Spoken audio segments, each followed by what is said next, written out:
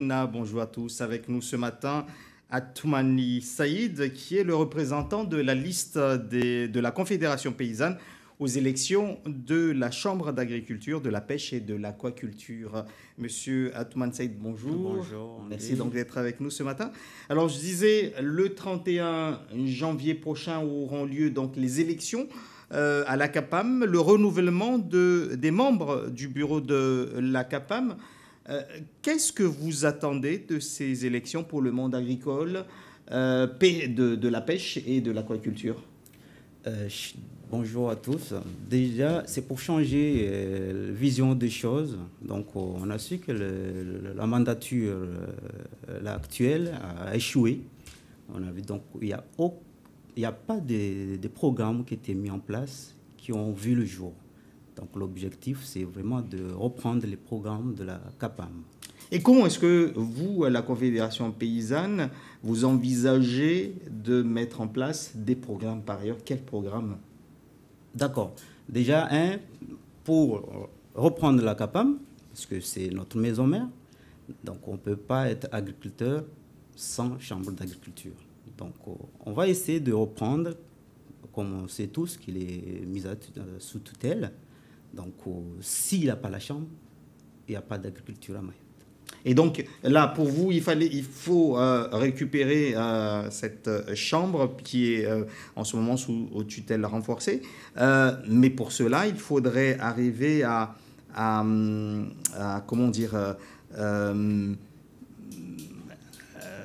euh, rembourser la, la, dette euh, de près de 800 000 euros, entre 800 000 et, et, 1 million d'euros. Comment faire pour ça? Puisqu'il y a eu des pistes euh, qui étaient proposées par la présidence actuelle et également par la, la, DAF, mais ça n'a pas marché. En tout cas, ça n'a pas été suivi.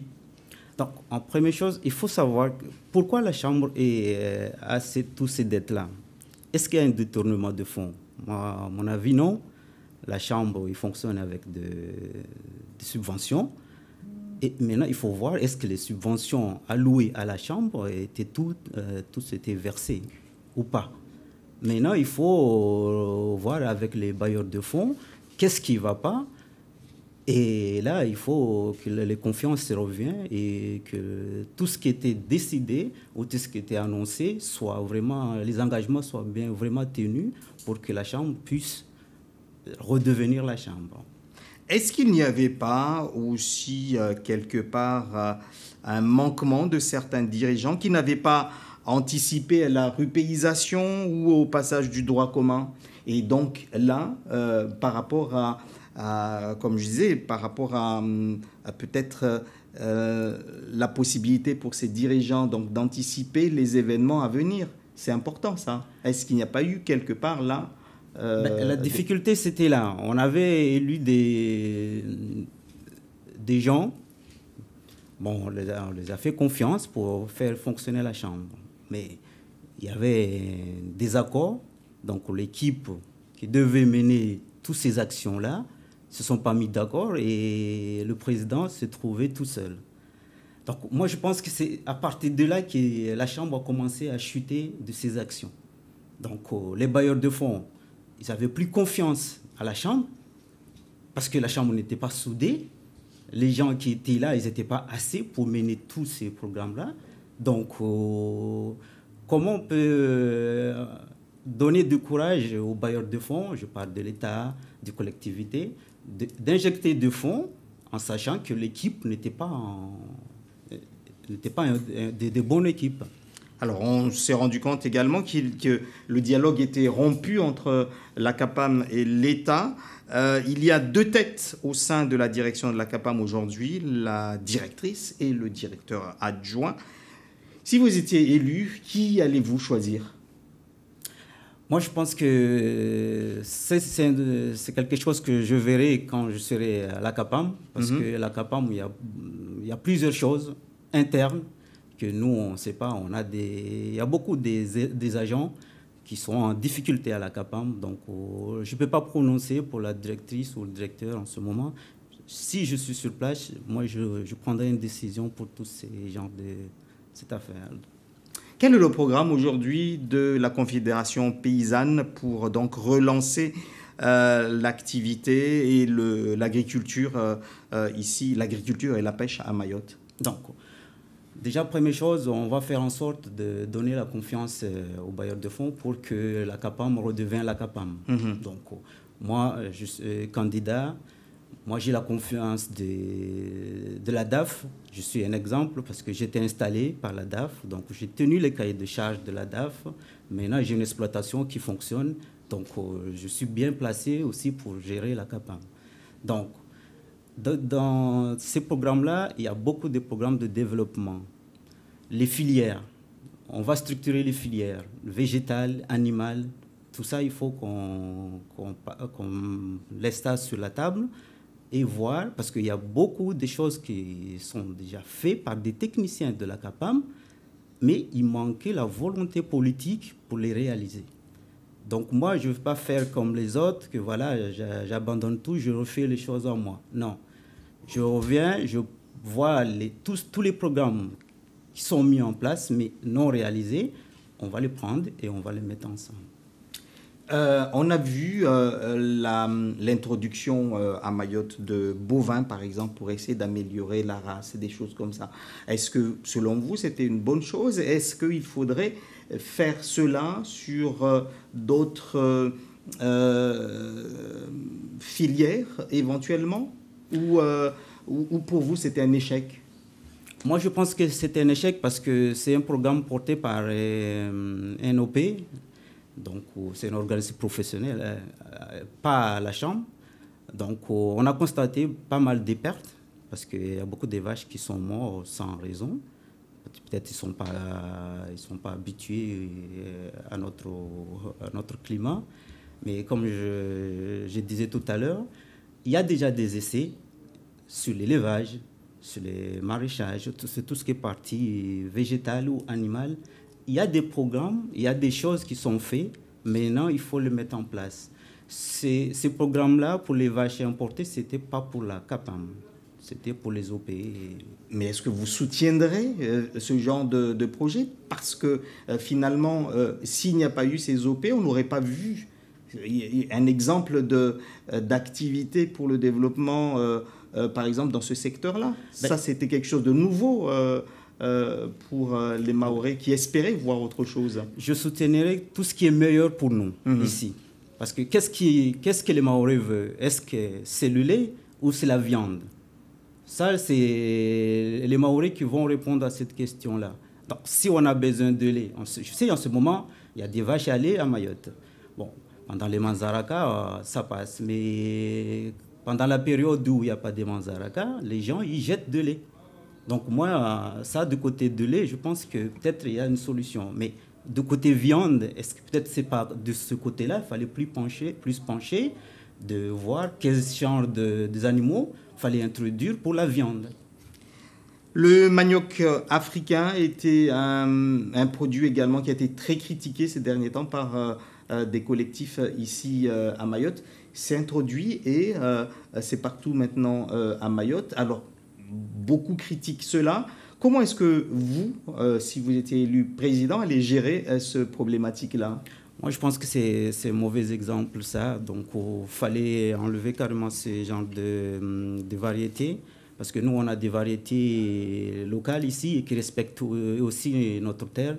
Comme je suis en confédération paysanne, donc l'objectif, c'est vraiment d'avoir euh, des cultures durables pour que demain nos enfants puissent aussi profiter de l'agriculture de nos terres, mais avec ce genre d'espèces, hein, de, variétés, on sent beaucoup que voilà, ça abîme beaucoup la terre euh, ici à Mayotte. Mais comment est-ce que, euh, euh, si cette variété est rentrée, c'est que la CAPAM a, dû être quand même avisée de l'introduction de, de cela après, c'était une décision qui était prise euh, bien avant, mais moi, je ne partage pas le même euh, avis. Je sais qu'il y avait des essais qui étaient faits, euh, à, à Dembéni. Donc, ce n'est pas ce genre de variétés qui, qui manquent à Mayotte. Mais il y a des variétés, il fallait de l'eau pour les produire. Mais ils ont préféré ces variétés-là parce qu'ils résistent bien, même pendant la saison sèche. Mais pour notre habitude à Mayotte, ces variétés-là abîment notre... Vous allez donc favoriser les... Euh, euh, les euh, produits locaux ici et mieux les développer plutôt que de prendre ailleurs, en tout cas sur certaines variétés je, ce que vous... je ferai ça parce qu'il ne fallait pas que tout ce qu'on a ici disparaisse. On a la tendance d'importer pour, pour avoir plus, mais euh, moi, pour moi, ce n'est pas la, bonne solution. La, solution, c'est vraiment développer ce qui est, est local, mais peut-être améliorer, améliorer, parce que voilà, on sait que euh, les cultures manquent d'eau, tout ça. En saison de pluie, tout va bien. En saison sèche, on a du mal à, à sortir des choses.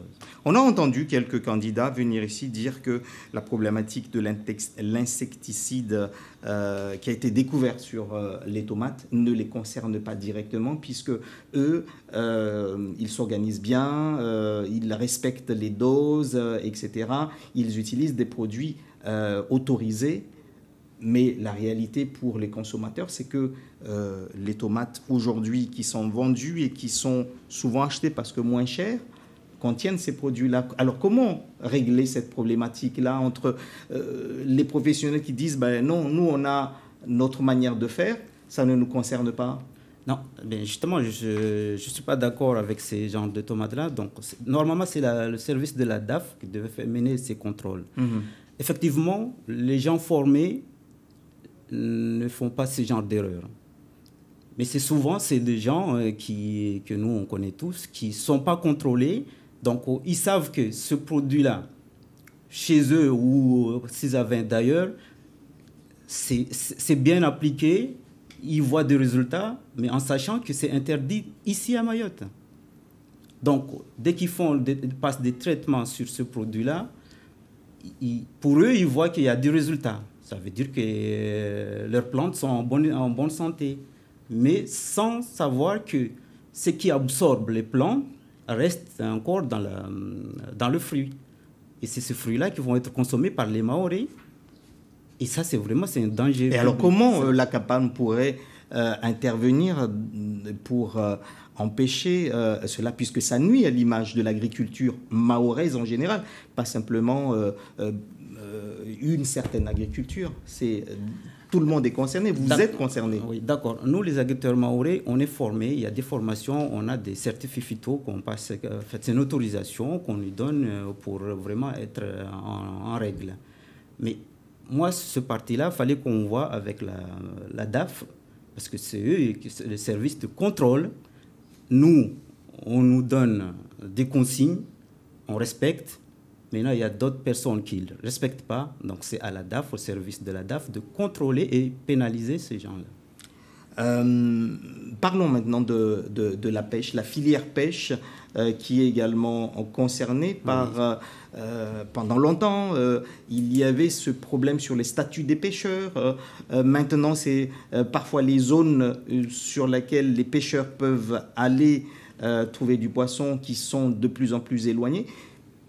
Qu'est-ce que vous allez vous proposer euh, éventuellement pour euh, cette filière-là euh, D'accord. Si vous étiez élu? Nous, on a travaillé avec les pêcheurs sur ce, ce problématique-là. C'est quoi aujourd'hui un pêcheur? Un pêcheur maoré, il n'a pas vraiment un statut de pêcheur. Pourquoi? Hmm. Parce que leur barque ne permet pas, n'est pas vraiment en sécurité pour pas aller, aux normes. normes pour aller plus loin. Donc, ils ont une autorisation de certaines catégories, donc, et ils ne peuvent pas aller aussi plus loin. Donc, ils ont mis en place en fait tout ce qu'on appelle le DCP. C'est une espèce de constance, euh, dispositif, de concentration de poissons, pour qu'ils puissent pêcher pas loin d'ici, mais qui respectent aussi euh, le mode de, de barque qu'ils ont. Est-ce qu'il faut évoluer euh, le statut du pêcheur à Mayotte selon vous? Oui, mais il faut, le professionnaliser comme euh, il, faut, au niveau il faut qu'ils ont aussi leur maison comme nous, qui puissent, euh, parce que les pêcheurs, ils n'ont ils pas de retraite. Comme au contraire, nous, les, euh, les, agriculteurs, depuis 2015, on a la, la, MSA. Mais eux, ils ont un autre statut. Il fallait qu'on courde avec eux on fait en sorte pour que demain, ils ont aussi leur chambre à eux pour, pour améliorer aussi leurs conditions. Parce qu'on a constaté que c'est vraiment c'est leur sécurité qui est en danger. un pêcheur qui sort, qui n'est pas protégé, c'est très difficile pour faire le métier comme il le faut. Merci à vous, Toumani Saïd, d'avoir été l'invité de Zakuli ce matin. Je rappelle que vous êtes le représentant de la liste Confédération paysanne aux élections de la Chambre d'agriculture et de la pêche et de l'aquaculture.